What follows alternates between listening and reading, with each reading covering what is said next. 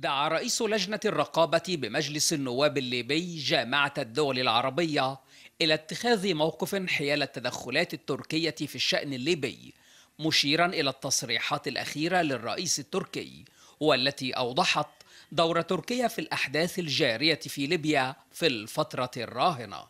هناك تدخلات من الجانب التركي في الشؤون العربية وأخيرا وليس مؤخرا الموقف التركي من الأحداث في ليبيا والتصريحات التي أدلى بها الرئيس التركي رجب طيب أردوغان وقوله أن تركيا لن تسكت على ما يحدث في ليبيا حتى لا تتحول إلى سوريا جديدة بمعنى أنه يريد التدخل العسكري في ليبيا لصالح بعض القوى أو القوى المتطرفة التي تدعمها تركيا وقطر.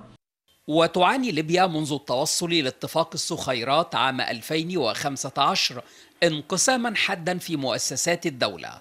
فهناك مجلس النواب والجيش بقيادة المشير خليفة حفتر والذي يسيطر على شرق ليبيا.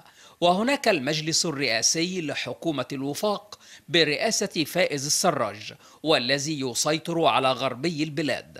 ومؤخرا شهدت ليبيا تصعيدا عسكريا بين الطرفين على العاصمة طرابلس. الدول العربية تريد حلا للأزمة في ليبيا وبسط الأمن بشكل عام دون تدخل مع قوى ضد قوى ودون تدخل مع الجماعات الإرهابية والجماعات المتطرفة.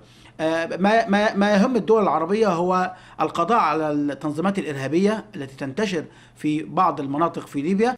ويدعو الموقف العربي من خلال الجامعة العربية جميع الأطراف الليبية إلى ضبط النفس والحوار للتوصل إلى حل سياسي سلمي لاستكمال المرحلة الانتقالية وإنهاء حالة الانقسام السياسي بما يفتح المجال أمام توحيد مؤسسات الدولة وإتمام الاستحقاقات الدستورية والانتخابية ومواجهة انتشار التطرف والتنظيمات الإرهابية.